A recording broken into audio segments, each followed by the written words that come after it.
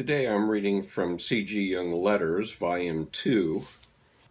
I'm going to read from the letter to Bernhard Lang, dated June 1957. On page 375, he's talking about a discrepancy between the view of Martin Buber and himself. Mr. Lang asked him a question in a letter. The question was, do you, Jung, regard yourself as a believing person?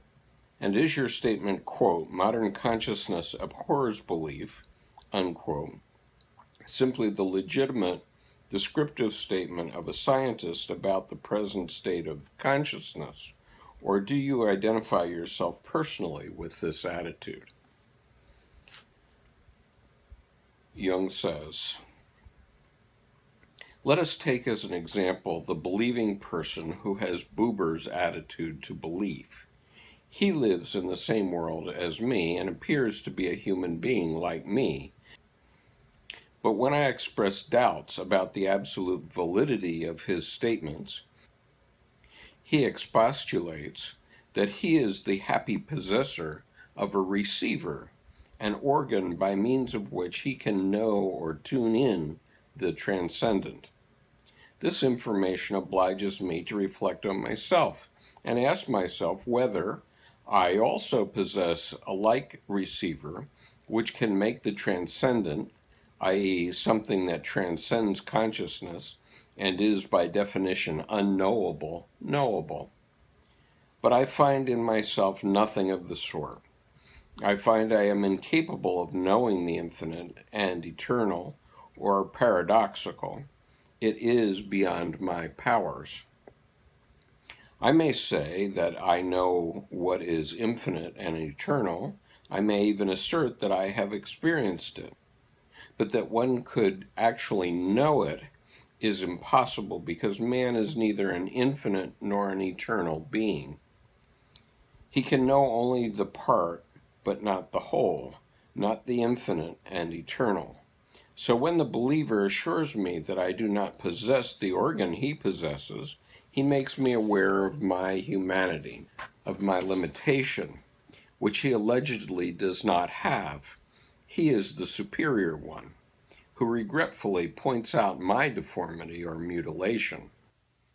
This is what I reproach them with, that they exalt themselves above our human stature and our human limitation and won't admit to pluming themselves on a possession which distinguishes them from the ordinary mortal.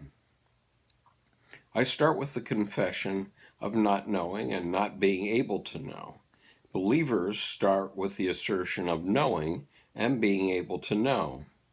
There is now only one truth, and when we ask the believers what this truth is, they give us a number of very different answers, with regard to which the one sure thing is that each believer announces his own particular truth.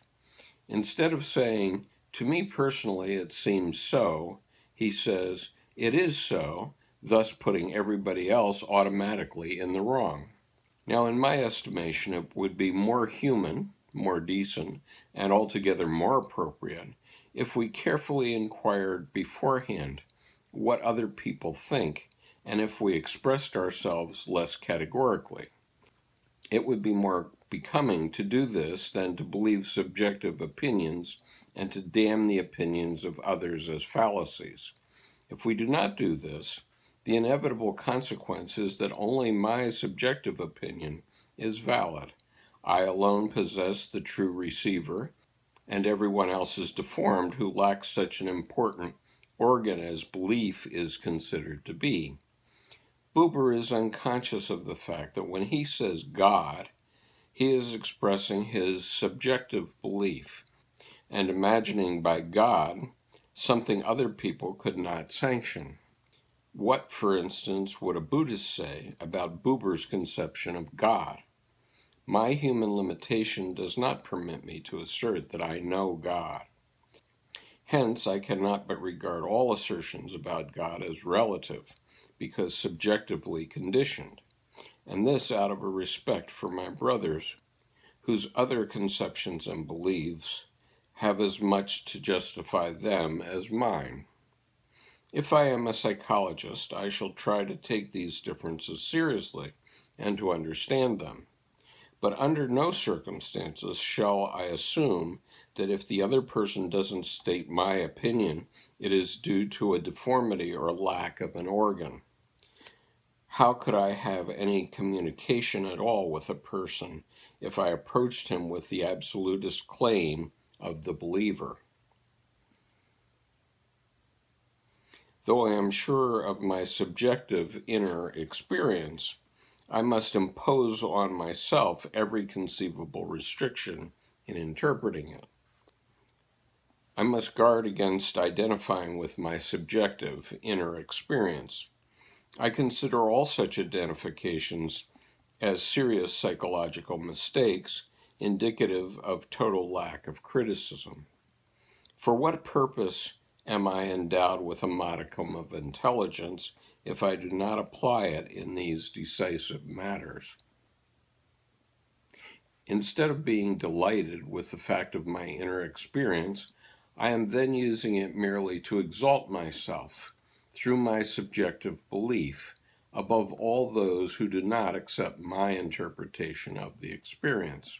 The experience itself is not in question, only the absolutizing interpretation of it. If I have a vision of Christ, this is far from proving that it was Christ, as we know only too well from our psychiatric practice. I therefore treat all confessions of faith with extreme reserve. I am ready at any time to confess to the inner experience, but not to my metaphysical interpretation. Otherwise, I am implicitly laying claim to universal recognition. On the contrary, I must confess that I cannot interpret the inner experience in its metaphysical reality since its essential core is of a transcendental nature and beyond my human grasp. Naturally, I am free to believe something about it, but that is my subjective prejudice, which I don't want to thrust on other people, nor can I ever prove that it is universally valid. As a matter of fact, we have every reason to suppose that it is not.